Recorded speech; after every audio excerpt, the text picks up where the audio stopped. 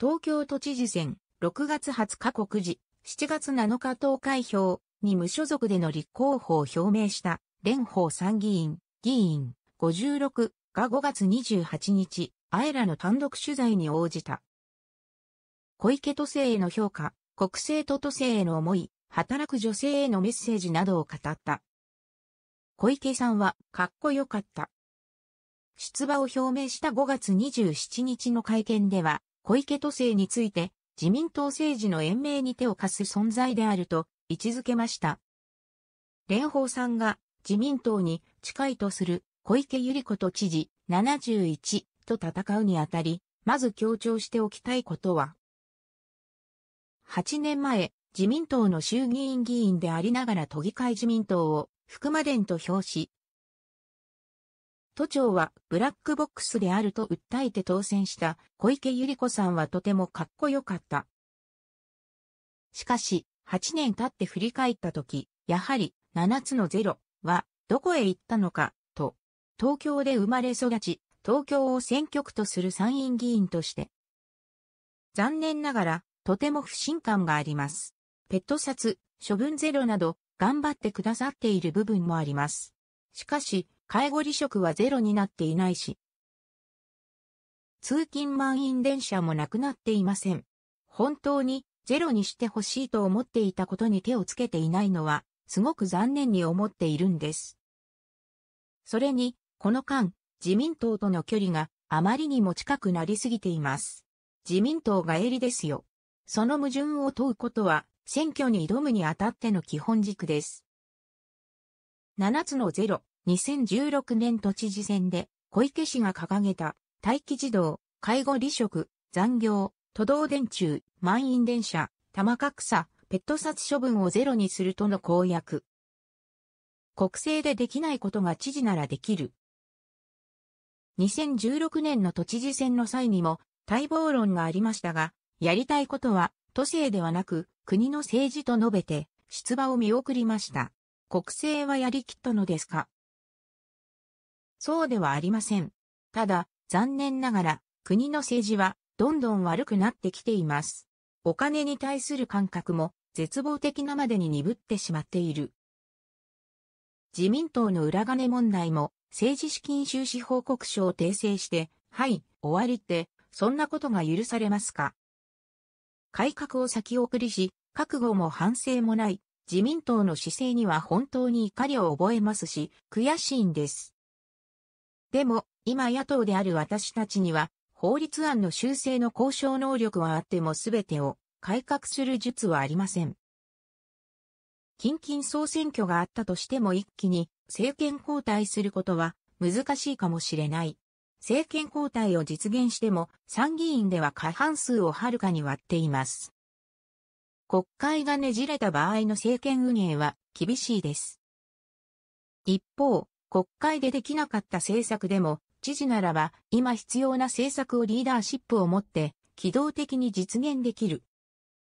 国政では法案を提出し、衆議院で審議し、参議院を通し、周知して施行するまでに最低でも1から2年はかかる。しかし条例ならば、知事がやると決め、議会で賛同を得られれば早くて、次年度の予算で実現することも可能です。ものすごく俊敏性、機動性がある行政を担うことができる。それこそが知事の役割ですし、知事の仕事の魅力だと思っています。そして、それが国政に政策変更の要請をすることにもつながります。以下はネットユーザーの反応をまとめたものです。あえらのインタビューは受けられるのに、田崎史郎さんの取材は受けないのね。あと、国政でできないことを都政でなんて言ってるけど、前は国政でしかやれないことがあるみたいなこと言ってたのも、うさんくさく思える。それにどうしたって二重国籍の一件があったのに、幅広い有権者の信頼を得ることができるとは思えない。東京都民ではないので、都政に口出しはできませんが、東京をダイバーシティが求められる国際都市と位置づけているなら、川口市で見られるように、日本社会に馴染もうとするのではなく、日本社会に対立するコミュニティを形成している外国の人たちを東京都が引き取ってくれるとありがたいです。意識の高いリベラル系以外の都民にとっては大迷惑でしょうが、蓮舫さんが当選した際にはぜひ実行してください。蓮舫さんには小池都政下で起きている日本人の東京への一極集中を是正させて、問題外国人を東京へ一極集中させるための政策変更を期待します。私はふさわしいとはどういうことでしょうか？なぜ思うのでしょうか？都民が決めることではないか？ふさわしいと思われる発信をして当選目指してください。当選すれば都民が決めたことで胸張ってください。そして良い都政を実施ください。あとは東京都民がどう評価するかですよね。参院選は部分的に評価する人が多いから当選しているけど、都政トップになれば自分たちに直接的に影響があるので、果たして都民はそれを受け入れるのかどうか。首都として国益につながる部分もあるのに、TEB 的な知名度の高さで当選してきた人が多い。過去の都知事選を振り返ると、知事を選ぶ都民の責任は重いと思う。父は台湾で私は二重国籍なんです。自分の中のアイデンティティは日本とは違うと感じる。このインタビューがなかったことにできるのですからね。立憲民主党のファンの皆様は、すごい新人です。私ほどふさわしい人はいない。これも意味深に聞こえてくるから不思議です。立憲の良くないところは、手段が目的化するところだ。お金に関する問題について述べている。国民は裏金自体に起こっているのではなく、政権が国と国民を富ませることができていないことに起こっているのだ。国と国民が富豊かにできないくせに、数億程度の裏金で耳っちく動く格好悪い政治家に起こっているのだ。因果を取り違えてはいけない。国を富ませることがファーストであり、裏金をなくすことがファーストではない。前提が違えば、途中の議論がどれほど素晴らしくても意味をなさない。蓮舫さん。